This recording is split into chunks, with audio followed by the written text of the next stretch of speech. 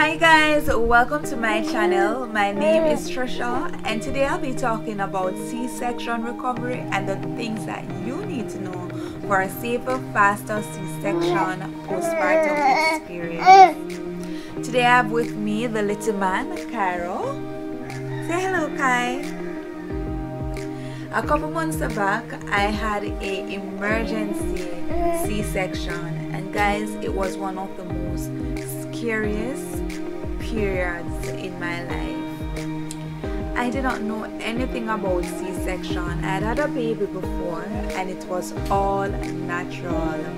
No medication, no epidural and I must say having experienced um, both ends, having a vaginal, both a vaginal birth and a C-section birth, the C-section recovery was much more taxing on my body than having a vaginal delivery. So guys, I want to say congrats to all those mothers out there who had a C-section because people tend to want to to to see that C-section birth is no birth at all. So these are some of the things that I wish I knew before I had a C-section. Guys, I wish I knew that I should take it easy. I wish I knew that the pain would be, I would say, unbearable. So it was not easy to move to and fro from the bed. I had had a vaginal delivery before and I had no problem in that regard. But with the C-section, I had, had to ask my husband on numerous occasions for help to help me to push me out of the bed. Right, so guys, don't be afraid to ask your husband, your partner, whomever for assistance. Guys, you should take it easy for the wound to heal faster, for you to have a smooth um a smooth recovery. Also guys, you should also ensure that the incision is clean you should also ensure that it's well taken care of. So you should be checking on that incision incision to ensure that it's not oozing blood or it's not oozing pus and that it's still intact. You should also listen to the advice of your doctor. If your doctor advises that you should not wet the, your incision for a couple days ensure that it's not wet I personally, my doctor had advised me that I should should not bathe for a week, but you know that your girl have to keep clean and she have to tidy. So what I did, I got a bath pan and I wiped and tidied my entire body except for the, the incisional wound. So guys, you should keep the area dry and away from water. Another thing that I wish I knew before I had the C-section the C-section is that my tummy might feel a little numb and that it might feel tender. So guys don't be alarmed. If you're touching your belly and you're not feeling it remember guys you've gone through a major surgery. You were cut open. Some of your organs were pulled out and I didn't know that until after the C-section and some of your organs were also shifted. My doctor advised that it may last up to a, a year but thanks be to God I'm 7 months postpartum and I'm feeling my tummy right now. Another thing that I wish I knew as well um, for a C-section you you cannot exercise right? No hard exercising. You should not be walk running briskly or any lifting weights or anything of the the sort. You should take it slow guys. You may do your pelvic floor exercises though. When you reach the six weeks mark the doctor may clear you for light exercises.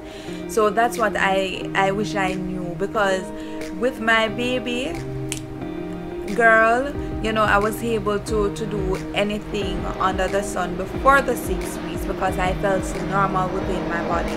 But if you had had a c-section even if you feel normal guys right like you are able to lift and pull anything you should not do it. So that's one other thing i wish i knew before having a c-section that i would not be able to do certain things another thing that I wish I knew as well is that sex may feel a little different and it is totally normal.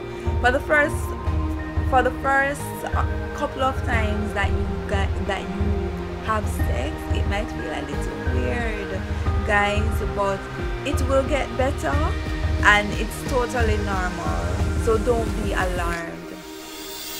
Guys also c-section might cause you to feel a little baby blues.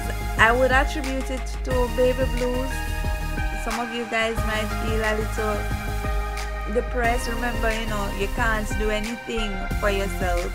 You're totally um, reliant on the head of your husband or your your spouse or your your your friend right so you might feel a little baby blues but it will pass. Remember you have that beautiful bundle of joy so don't feel don't feel saddened by the fact that you're not able to move the way that you want to move. And another thing that I wish I knew as well is me develop some allergic reaction to the medication remember guys I've not I wasn't given any med medication during my first pregnancy. As such I did not know that I would become swollen. Yes guys I was swollen with this um after this pregnancy all the different all the epidural and the medication and the fluids that they had injected in my body caused me to be swollen. I was swollen for days. I did not look like myself and I, this was swollen and I will insert a picture for you to have an idea of what I'm talking about.